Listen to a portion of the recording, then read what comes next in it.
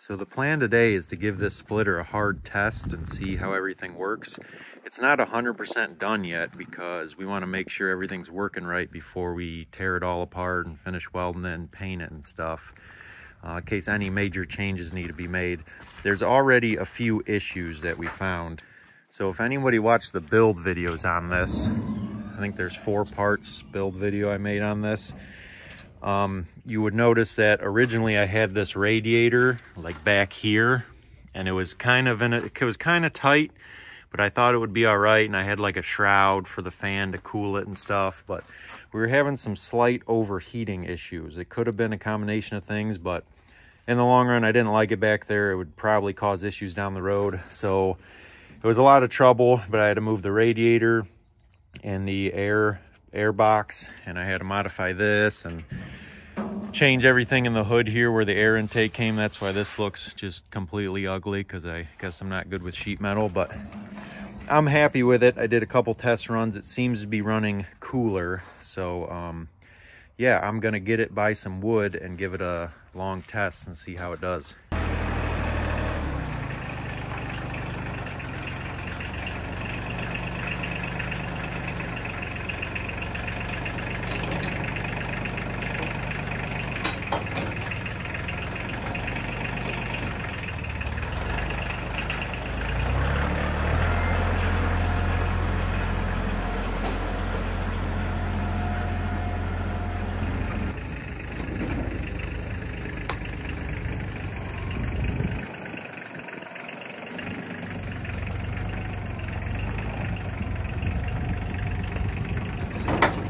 I also played around with the foot pedal design.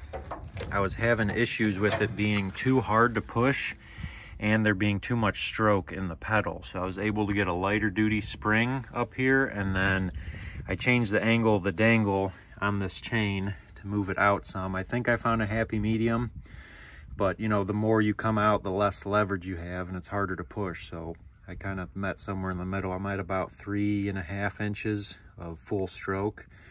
So this will be the first time testing that out. Um, but everything else seems to be working good.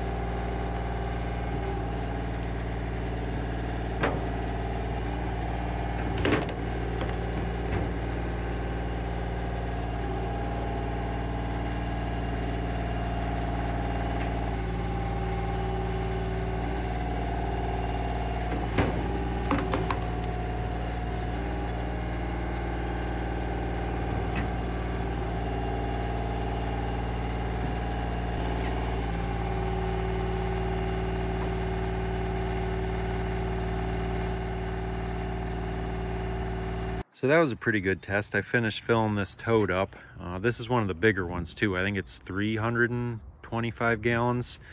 Uh, the normal ones are 275. I think it's like a foot shorter. So I like these ones better. You can fit a lot of wood in these ones. But I was almost expecting to break something because this whole thing's pretty much tacked. Like this plate, the whole plate and steel and stuff, the whole table bounces every time you get into a log. I don't know if you noticed in that one knotty piece I got into, I was almost sure I broke something in the mast up here. This thing's still tacked, and but it was pretty good. Um, I was probably at it a half hour, maybe.